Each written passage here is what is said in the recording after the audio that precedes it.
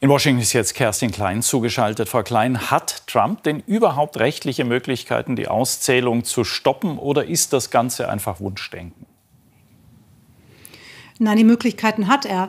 Man erinnert sich zum Beispiel an das Jahr 2000, äh, damals der Wahlkampf äh, George W. Bush gegen Al Gore. Da hat am Ende der Supreme Court die äh, Nachzählung der Stimmen in Florida gestoppt und damit die Wahl zugunsten von Bush entschieden. Und auch bei dieser Wahl sind wieder mehrere Bundesstaaten knapp.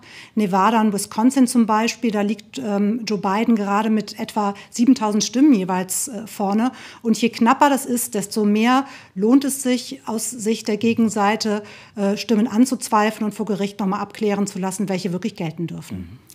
Nun weiß man ja schon seit Wochen, dass es wahnsinnig viele Briefwähler gibt.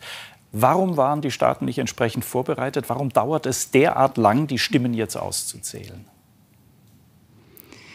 Das liegt an den unterschiedlichen Wahlsystemen. Die verschiedenen Bundesstaaten haben alle unterschiedliche Wahlsysteme und in manchen, wie zum Beispiel in Florida, da ist es erlaubt, die Briefwahlstimmen schon äh, vor dem Wahltag auszuzählen. Das heißt, da ist einfach wahnsinnig, wahnsinnig viel schon vor dem 3. November ausgezählt worden. Deswegen gab es da schnelle Ergebnisse.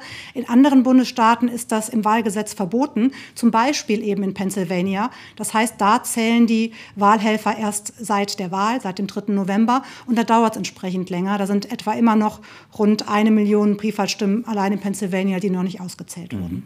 Ist denn damit zu rechnen, dass wir zumindest heute noch im Laufe des Tages erfahren, wer gewonnen hat?